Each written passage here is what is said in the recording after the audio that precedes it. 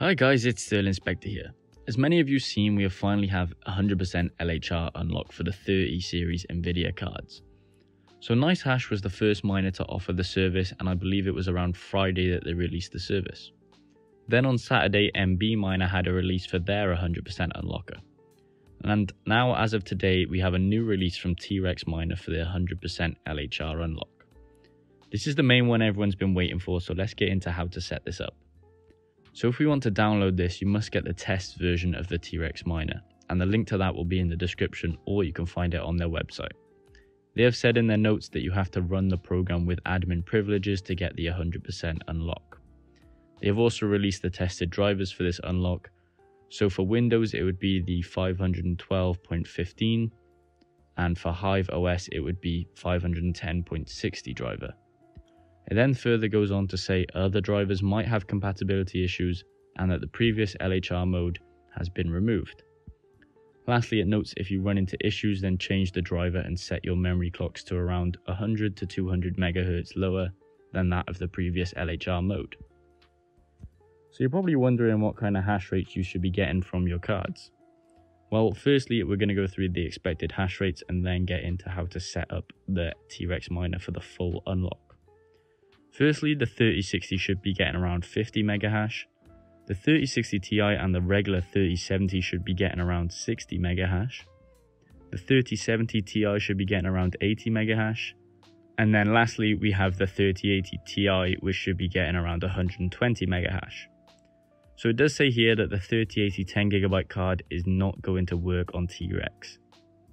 So now we know the expected hash rates, let's get into the setup.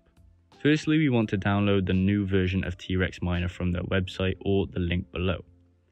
Once downloaded, obviously we want to unzip the file so we have access to all the batch files.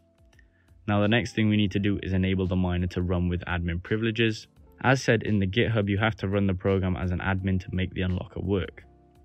So to do this, you have to find the T-Rex executable. It's basically the miner program and it should look like this. Once you found it, you want to right click and click on the properties box. Next, we want to find the compatibility tab and click on that. Then look for the box that says change settings for all users. Click on that and then last we want to click on the box that says run this program as an admin. Then click apply and exit out.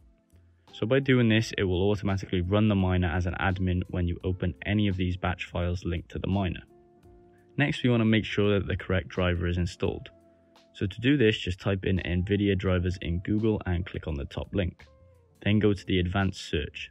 Once here, we want to go through all the cards sheets and put the driver type to DCH.